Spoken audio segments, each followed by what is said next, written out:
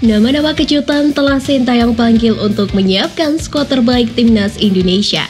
Lantas siapa saja pemain tersebut? Kini Garuda Space mencoba menyajikan informasinya sebagai berikut.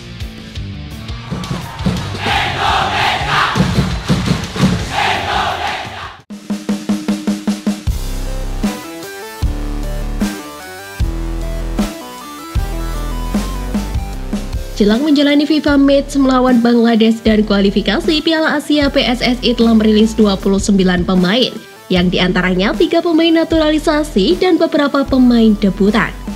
Nama Stefano Lillipali menjadi sorotan pasalnya pemain yang sekarang bermain untuk Borneo FC tersebut.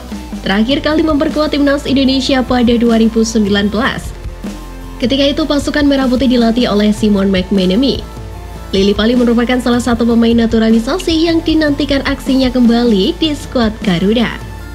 Dua pemain naturalisasi lainnya yang kembali dipanggil Sintayong ialah Mark Clark yang telah menjalani debutnya bersama timnas Indonesia di ajang SEA Games kemarin dan juga back muda potensial Elkan Bagot.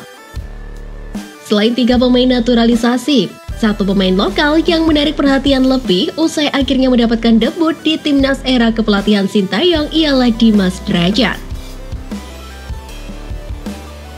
Salah satu pemain lokal tertajam di Liga 1 musim lalu itu lama berkutat dalam skuad timnas U22 pada masa kepelatihan Indra Syafri. Performa apiknya bersama Persikabo diharapkan mampu menjadi solusi kurang tajamnya penyerang tengah timnas Indonesia saat ini. Para pemain debutan tersebut akan bergabung dengan para pemain yang mayoritas berkiprah di SEA Games kemarin. Dikutip dari laman resmi PSSI di Jakarta, para pemain akan berkumpul di Jakarta pada hari ini sebelum berangkat ke Bandung keesokan harinya.